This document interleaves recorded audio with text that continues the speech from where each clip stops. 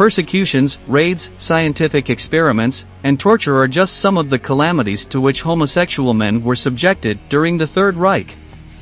Nazism always considered them a problem for the Aryan race, and their methods to prevent contaminating the German lineage were as shocking and infamous as the treatment they gave to the Jewish community.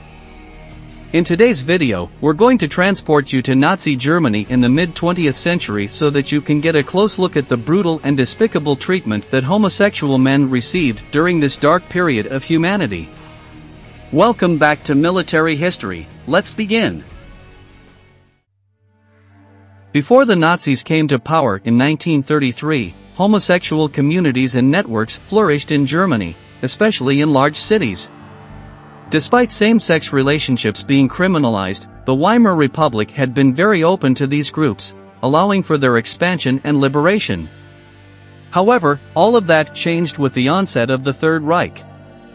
The Nazi regime carried out a fierce campaign against male homosexuality and violently persecuted this community between 1933 and 1945. But then I think as Hitler got more and more afraid of international espionage.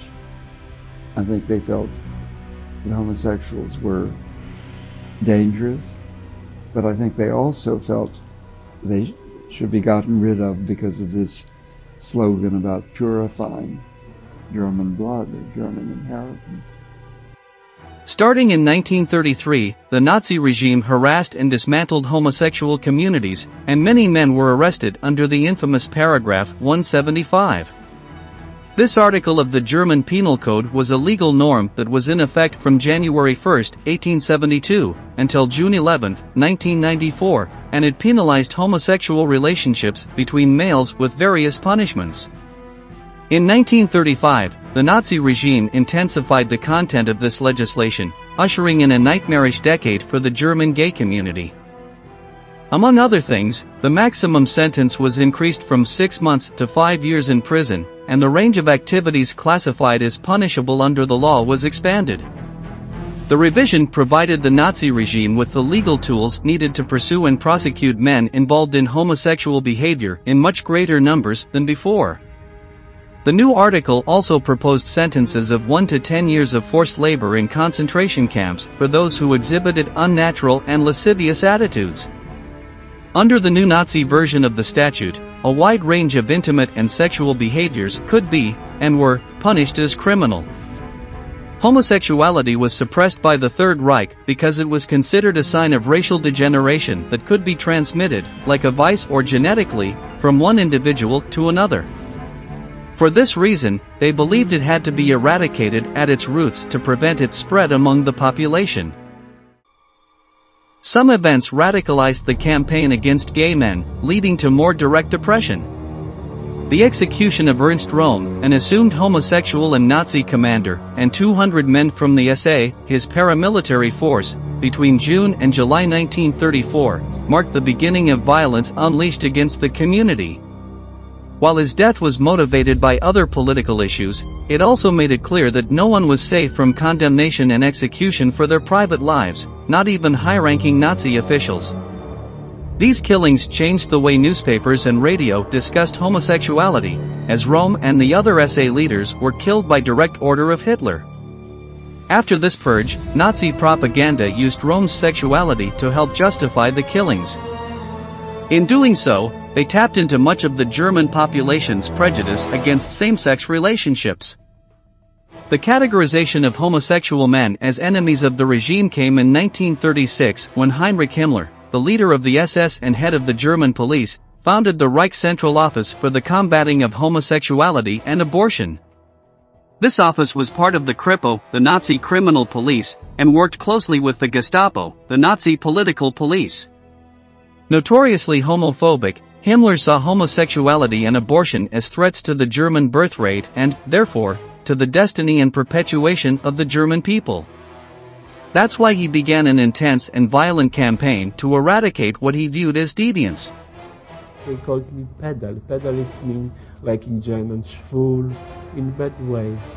And therefore I was treated bad. If I were thief, if I were murder, they could accept me, but not this. From this point on, the regime focused less on closing gay gathering places and more on prioritizing the arrest of individual men for violating paragraph 175.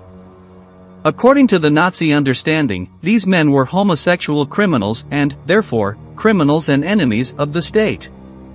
Himmler believed that attacking these individuals was necessary for the protection, strengthening, and proliferation of the German people. The Kripo and Gestapo police forces carried out raids, investigations, and harsh methods of interrogation and torture to track and arrest suspected individuals. Police raids were public and high-profile displays in the Nazi campaign against homosexuality. The police would cordon off nightclubs and interrogate anyone who seemed suspicious. Those whom the police deemed guilty would be tried for violations of paragraph 175 or, in some cases, sent directly to a concentration camp. Through this method, the police intimidated and frightened both communities and individuals, while also gaining popularity through fear among the general population. The Kripo and Gestapo based most of their persecutions on public denunciations. They would then gather information about the private lives of the accused to uncover some form of homosexual crime. Fear was rampant, so neighbors, acquaintances, friends, or family members might point out a suspect solely out of paranoia. The language people used in their denunciations made it clear that much of German society agreed with the Nazi regime regarding homosexuality. The accused were described as effeminate, unmanly, sick, or perverted. Denunciations were an extremely effective tool of repression, resulting in tens of thousands of arrests and convictions, once they were arrested, the Gestapo and Kripo would intensively interrogate the captured men. During these interrogations, which were always physically and psychologically brutal, the police aimed to obtain full confessions to secure maximum sentences. Under the pressure of extreme torture methods, the men were also forced to name their sexual partners, which helped the police identify other homosexuals for arrest and questioning. In this inhumane and perverse way, the Nazi regime captured thousands of people, establishing betrayal as a method of survival. Not all men arrested under paragraph 175 met the same fate. With the outbreak of World War II, those of military age were conscripted into the army against their will and forced to perform the most dangerous tasks on the battlefront. The Nazi judicial system also introduced castration as part of the sentences, so some imprisoned men could obtain early release if they volunteered for castration. Furthermore, some homosexual criminals were sentenced to prison, while others were sent to concentration camps for forced labor, though in both cases, they were punished and socially marginalized. The pink triangle was the piece of cloth sewed over, I think, the left breast, the way the yellow Star of David was sewed onto the clothing of every Jew. Who wore the pink triangle? The gay men. Between 5,000 and 15,000 men were imprisoned in concentration camps as homosexual criminals. This group of prisoners was required to wear a pink triangle on their camp uniforms as part of the classification system. The pink triangle drew attention to this captive population as a distinct group within the concentration camp system. According to many survivor accounts, pink triangle prisoners were among the most abused groups in the camps. They were sometimes assigned the most strenuous and demanding tasks in the labor system.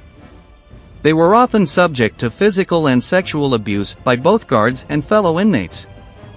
In some cases, they were publicly beaten and humiliated, sometimes as intimidation and other times for sheer entertainment. In the Buchenwald concentration camp, some pink triangle prisoners were subjected to inhuman medical experiments, as homosexuality was considered a hereditary malformation that needed to be cured. Dr. Carl Værnet, a Danish SS physician, claimed to be able to cure homosexuality through genetic experiments ranging from implanting artificial glands in prisoners to electroshock treatments or even lobotomies. Most of these experiments ended in the death of the prisoners. Homosexual behaviors were categorized as dangerous crimes against morality, so starting in November 1942, concentration camp commanders officially had the power to order the forced castration of homosexual prisoners. They wanted to know whether I had more soldiers, not only one. But I was very, very uh, ashamed, uh, young. I didn't uh, knew even the meaning of this word homosexual for the, because our love was love, only love. The treatment was not good. It was not good thing. There was not tolerance. Uh, they treated uh, us, homosexual, as a, something wrong.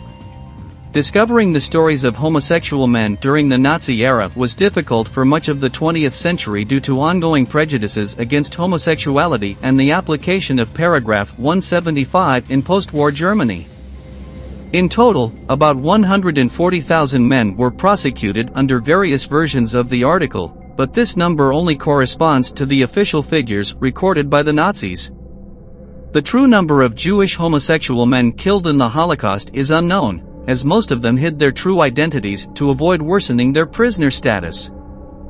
We're reaching the end of this presentation, and we wanted to ask you, what are your thoughts on the atrocities that the Nazis subjected homosexual men to during that time? Please share your opinions in the comments below.